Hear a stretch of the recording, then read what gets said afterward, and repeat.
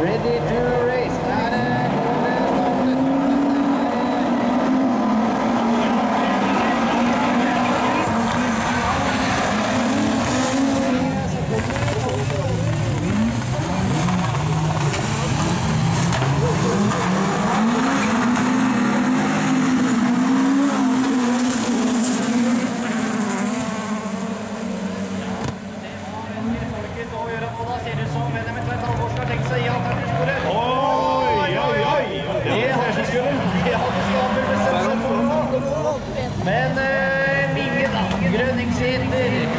holder på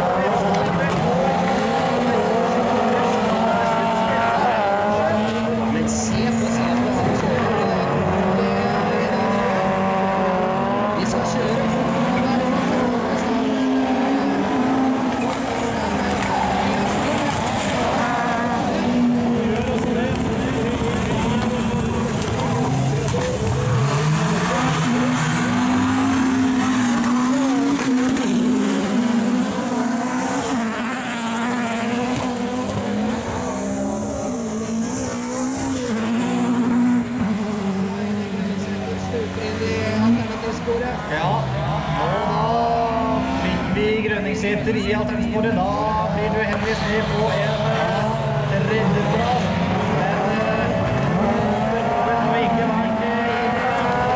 Spist av flammer av Monat Minge har setter opp en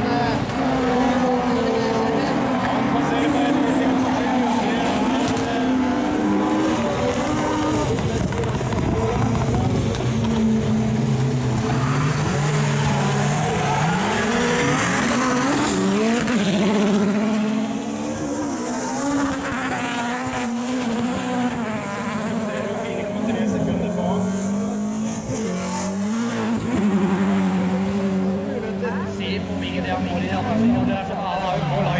flere sekunder. Det er helt rått å se på den der eh, og det var gøy å endelig få sett inn på starten her. da.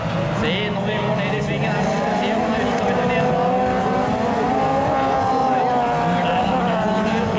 Dette er på langkast, det kan ikke bare ta deg inn i mål. Da vinner Minge. Minge kjører inn til ja, beste tid, 2.31,1. Med Grønningseter Holter Håvin på andre og tredje tid.